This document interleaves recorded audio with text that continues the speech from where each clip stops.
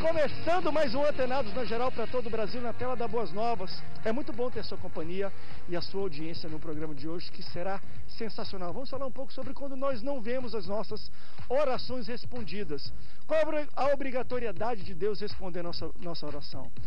E por que, que ele responde a uns e outros não? E às vezes a gente ora, somos homens de Deus, cumprimos a palavra, a lei, somos fiéis e parece que não temos as nossas orações respondidas. Por quê? A gente vai um pouco também na Bíblia ver situações parecidas com essa para falar um pouco de hoje, porque hoje nós também somos muito velozes, né? A gente quer orar e dentro de sete dias a gente ainda determina para Deus. Deus, dentro de sete dias temos que ver alguma coisa. Vamos falar um pouco sobre a velocidade que a gente vive hoje e a velocidade de Deus e como ele vê algumas circunstâncias e como isso é tudo mostrado na Bíblia. Para falar um pouco sobre como Deus se relaciona com os nossos pedidos e a obrigatoriedade dele de responder, a sua misericórdia em responder, a sua graça em responder. Para falar um pouco sobre isso, receber que é pastor da comunidade cristã Novo Dia, também escritor pastor César Carvalho. Pastor, bem-vindo ao Antenados.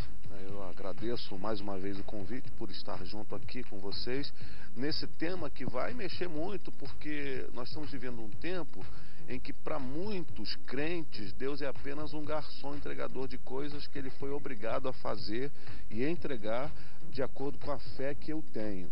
Ou seja, a fé para muita gente é mais importante do que a vontade de Deus. Então é um tema bastante é, interessante, vai mexer na teologia da fé e isso vai mexer em algumas posições bastante dramáticas da igreja contemporânea. José César, fala um pouquinho só do livro aqui, da última vez que você ouviu aqui no programa também nós mostramos, Sorrir, Chorar e Pensar. É, é um Quem livro. comprar e ler, o que, que vai encontrar aqui? Há motivos para sorrir, para chorar e para pensar. Mas assim, é, é, é, um livro de crônicas, de reflexões, de pensamentos e memórias. É um livro que, que vai tratar assim um pouco da, da alma de um pastor que fez 50 anos de idade, né? É, né? De alguma maneira, né? E, e assim, eu vou tocar de lembrança, até de meus bichos domésticos, até da minha infância, eles fazem parte desse livro, da minha saudade do meu totó. Né? Então tem coisa de todo gênero. E uma leitura legal, eu vi que são crônicas. São uma crônicas, página, uma é. página e meia, tem uns que são meia página. Uma leitura boa é, para pensar, para pensar. Pensar sobre o assunto. Né? Obrigado, pastor, pela sua presença no Atenato. Também recebo ele que é pastor da Igreja Evangélica Congregacional de Mato Alto, também é capelão, pastor Antônio Carlos Ramos, pastor, bem-vindo ao Atenados. Sempre bom estar aqui, sempre bom rever os colegas e irmãos. Já estivemos juntos em outro programa, né? E por acaso nos encontramos de novo, é bom isso. Bom estar aqui, poder participar e, e ajudar no tema tão interessante. Eu, eu, imagino que a gente vai sair daqui com alguns conceitos mudados, né? Eu imagino. Obrigado, pastor, pela sua presença. Também recebo ele que é pastor da Igreja do Evangelho Quadrangular e professor de História de Israel, Hermenêutica e, e Hermenêutica no Instituto Teológico Quadrangular, pastor Carlos Monteiro. Bem-vindo, pastor. A paz seja convosco. Mais uma vez eu fico feliz de estar presente aqui, compartilhando com os irmãos, né, com os pastores, é, dessa grande bênção. E uma coisa eu tenho certeza, Antes de mais nada, Deus responde a todas as nossas orações. Meu Deus, vamos falar um pouco sobre isso. Porque às vezes eu, eu vou te falar, quantas vezes eu, a resposta de Deus para mim foi silêncio. Vamos falar um pouco. Silêncio é resposta também? Para falar também sobre isso, eu recebi ele que é pastor e vice-presidente da comunidade cristã Getsemane, também é cantor, meu amigo pastor David Muniz, bem-vindo, queridão. André, obrigado, prazer estar aqui novamente nesse programa. E a gente já vai começar o programa com discussão, né? O que o pastor da Quadrangular já falou aqui que Deus responde todas as nossas orações. E é importante saber que Deus é onisciente, onipresente, onipotente. Ele está aqui nesse exato momento e vai ser bom a gente passar para os ouvintes, telespectadores, aquilo que a gente conhece um pouquinho. A gente não sabe tudo. Quem sabe tudo é o Senhor e a gente está aqui também para aprender. Eu, como bom pentecostal, pastor David, canto uma música que fala assim: olha, Deus não rejeita a oração, a oração é alimento. Mas está falando de um salvo se Deus não rejeita, ele pode, Deus rejeita a oração de alguma pessoa, a gente vai debater um pouco sobre isso durante o programa. Olha, durante o programa vamos colocar na sua, na sua tela o contato para você interagir com antenados na geral. Antes da gente entrar Vai no... dessa? Não, Vai não, não, calma, calma. Eu gosto dessa música. Depois eu vou pedir até para botar BG. E debato, hein? Olha que eu vou proteger. Mas antes disso, deixa eu entrar numa coisa que eu acho não tem nada a ver com esse tema de hoje, mas eu acho que eu queria ter um pouco do, enfim, pela datação que a gente tem do programa, ah, e eu tenho visto, pelo menos na internet, muitas famílias e igrejas acompanhando o drama dos refugiados. E aí a igreja brasileira, eu acho que mundial está orando sobre isso. Deus dá uma saída, protege tudo. E quando você vê um pouco dos periódicos e dos jornais, parece que, ah, tipo assim, todo mundo está orando e a situação só vai piorar, pelo que muitos estão falando, enfim, cientistas políticos e tudo. Olha, só vai piorar porque as guerras estão aumentando, Estado Islâmico está crescendo, o pessoal está fugindo. Embora todo mundo ore, parece que não se tem solução. Deixa eu fazer uma pergunta que foi a capa da Veja dessa última semana. Onde é que está Deus em situações dessas? De catástrofes, onde tem todo mundo, uma igreja inteira orando, pedindo solução, refúgio, e parece que nada acontece. Como é que você acha que Deus lidar com, com isso? São filhos dele, sendo, sendo muçulmanos, católicos ou não, são, são criações de Deus, são criaturas de Deus. Deus lidar com isso, daqui a pouco você também vê uma igreja orando e a situação piora. Como, você entende o papel de Deus nesse bem, meio? Bem, André. Essa. Foi a pergunta essa da revista Veja, está todo mundo se perguntando. E essa pergunta, ela é basicamente a que, que, que gera, que é o ponto gerador da teologia liberal construída na Alemanha. Que vendo os paradoxos inexplicáveis, tenta responder aquilo que não pode ser respondido de maneira simplista. Nenhum ser humano e nenhuma controvérsia humana, nenhuma dor humana é tão simples quanto possa imaginar qualquer um de nós.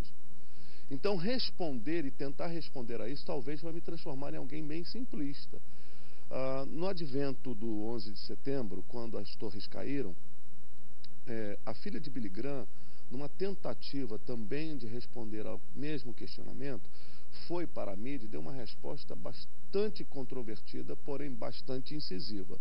Ela disse que ah, os, os, americanos tiraram Deus da escola, tiraram Deus de todos os lugares, e agora, quando vem o desastre, eh, ah, queremos saber onde Deus está.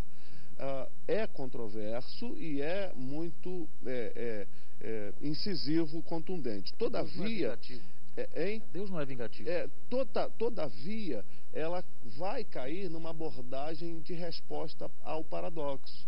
Quando, na verdade, o que a Bíblia manda fazer é que a gente chore com quem está chorando e, e, e, e se alegre com quem está se alegrando. O, um dos, não sei se foi o primeiro-ministro da Hungria, foi fazer um, um, um, comentário sobre essa questão que você abordou dos, dos caras que estão vindo, dos, refugiados. dos refugiados, e ele diz que a igreja cristã na Europa está correndo risco por causa dos refugiados muçulmanos. Uma profunda tristeza do ponto de vista uh, daquilo que é a fé cristã, que deveria abraçar essas pessoas nesse momento. Então, a tentativa de explicar onde está Deus, Deus está na mesma posição que estava quando o seu filho unigênito está na cruz morrendo por nós pecadores. Ele está no, no trono. Quando Isaías vê o rei Uzias, no ano que o rei Uzias está morto, e o caos está no, no, no, no, reino, Deus está no trono. E os serafins, é a única menção de, dos serafins na Bíblia, cantam: Santo, Santo, Santo é o Senhor dos exércitos, toda a terra está cheia da sua glória. Mesmo que as circunstâncias apareçam adversas. Há um tempo kairóis e há um tempo cronos, que a gente nem sempre vai saber explicar. Então, talvez a maior, o maior drama que um pastor vai enfrentar seja a tentativa de explicar ao invés de chorar. Vocês, que, que sensação vocês tiveram quando viram? E eu, eu digo isso porque muita gente está se perguntando isso mesmo. Foi a capa da revista mais lida no Brasil de notícias de onde está Deus e que Deus pensa nisso. Como você, e vocês vão ser perguntados provavelmente essa semana, né? Porque saiu agora nesse fim de semana. Como é que vocês entendem situações e se colocam contra isso? Eu fui perguntado hoje. Eu sou Olha capelão. eu sou capelão do Hospital São Francisco Xavier, Hospital Municipal lá de Itaguaí, da minha cidade. E hoje pela manhã eu estava na capela dando meu expediente e um médico do hospital veio, se sentou à capela. Lá é um lugar para todo mundo se sentar a hora que quer e tal, de frente para a cruz. Ele estava ali refletindo e eu me aproximei dele. Né? E, e, aí eu notei que ele estava uh, refletindo, deixei ele à vontade. Depois que ele terminou, ele fez essa pergunta que é que Deus não intervém nessa situação dessas crianças morrendo, aquela criança na beira da praia, morta? Por que, que Deus não fez nada? Né? Aí eu perguntei a ele, mas você crê em Deus? Ele disse, não, eu não creio em Deus. Aí para lidar com uma pessoa e falar de Deus quando ela não crê em Deus, a dificuldade ainda é um pouco maior, né, pastor? Eu disse, olha, é, na verdade, é, eu disse a mesma coisa que você disse aqui agora. Deus está no trono, Ele tem o controle de todas as coisas, e se elas acontecem nem sempre ele deseja, mas ele permite. Então, se Deus permite, Deus tem um propósito e a gente nem precisa entender. Deus vai, de alguma forma, é, é, concluir o seu propósito e talvez um dia a gente entenda. Porque foi assim com José. José tinha só 17 anos e depois de anos e anos sofrendo e sofrendo e sofrendo e sofrendo, quando ele encontra com seus irmãos, ele diz: Olha, foi por isso, é para que a gente não morresse de fome que Deus me permitiu lá atrás ser traído e vendido por vocês. Então Deus tem um propósito. Agora, se a gente vai entender isso agora, se a gente vai entender depois, se a gente nunca vai entender, Deus vai continuar sendo Deus. E eu vou continuar sendo servo e eu não vou ter o direito nenhum de intervir nas propostas, planos e decisões e atitudes de Deus né? e permissões de Deus para não ser tão é, fatídico diante de uma situação como essa. Deixa eu chamar o um intervalo, para depois a gente iniciar de quinta marcha como estamos. Eu vou a partir do ponto que o, pastor Antônio Carlos deixou a gente aqui falando na questão de José e também essa criança de um propósito maior. A Bíblia é um livro de princípios, é um livro de promessas que e às vezes até tem até não vou dizer uma bula, mas tem passo a passo para algumas coisas. E às vezes nós entendemos que se eu orar, se eu jejuar, se eu for fiar em dízimos e ofertas, for marido de uma só mulher, respeitar e para ele. A, a, a, gente faz uma lista do que eu posso ser. Ah, então, Deus, pela promessa que está na Sua palavra, pela, pela aquilo que Ele disse para mim, por, por aquele princípio de plantar e colher, ele, a gente imagina que Ele tem a obrigatoriedade, às vezes, de responder um, um clamor ou uma petição nossa baseado no que está escrito na Bíblia, não é eu não, baseado no que está escrito de fato na Bíblia. Deus fala, ele cumpre aquilo que ele fala.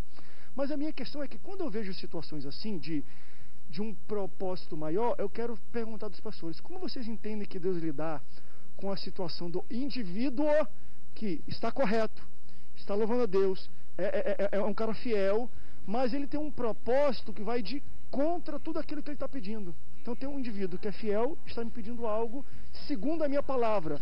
Mas porque o povo do qual ele pertence, eu quero passar uma lição geral, e ele vai estar incluído nisso. Tipo Jó. Como é, como é que eu faço? Tipo, muita, tipo, às vezes muitos cristãos crentes são fiéis que estão fugindo das suas casas e morrendo por causa, às vezes, de um propósito maior de Deus nisso que a gente nem sabe ainda qual é. Mas às vezes tem isso. E talvez você em casa esteja vivendo isso. Meu Deus, eu tô, tudo aquilo que o pastor fala que tem que fazer, eu tô. Eu leio a Bíblia, eu cumpro tudo. Não tudo porque não tem como quase, mas a maioria. Mas mesmo assim eu não vejo as respostas que eu peço de acordo com a palavra. Por quê? Como Deus lidar com propósitos gerais e respostas individuais. Vamos para um rápido break, daqui a pouco a gente volta, não sai daí, o Antenados volta já já.